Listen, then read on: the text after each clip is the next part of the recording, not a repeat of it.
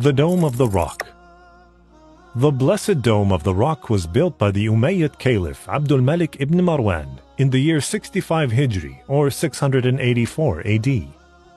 Its construction began in the year 66 Hijri or 685 AD and was completed in the year 72 Hijri or 691 AD. Its construction was overseen by the two Arab engineers Raja ibn Haywa from Bisan, Palestine, and Yazid ibn Salam, a servant of Abdul Malik ibn Marwan from Jerusalem, Palestine. The Dome of the Rock is considered the oldest remaining work of Islamic architecture.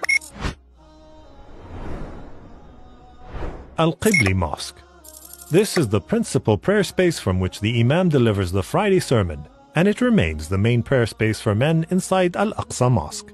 It is also where the principal prayer niche, mihrab, and pulpit, mimbar, are located. Moroccans Mosque The Moroccans Mosque is located in the southwest corner of the Blessed Al-Aqsa Mosque, south of the Al-Buraq Wall. The Marwani Prayer Space It was built during the Umayyad period and is composed of 16 porticos and 100 stone pillars. This prayer space is approximately 4.5 acres in size.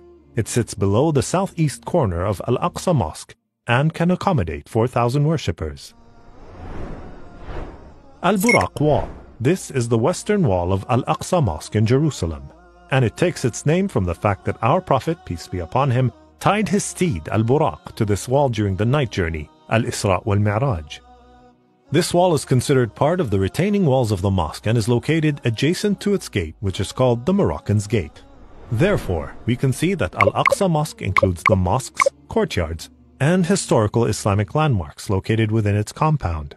The area outlined in yellow in this image is collectively referred to as Al-Aqsa Mosque, which is located in the Old City of Jerusalem and is 144,000 meters squared in size. There are more than 200 historical landmarks inside Al-Aqsa compound, as well as 25 freshwater cisterns. The Prophet, peace be upon him, said, there will not cease to continually be a group from my ummah who are steadfast upon Allah's commandments, who will not be harmed in any way by those who abandon or oppose them until Allah's command is executed, and they will be triumphant.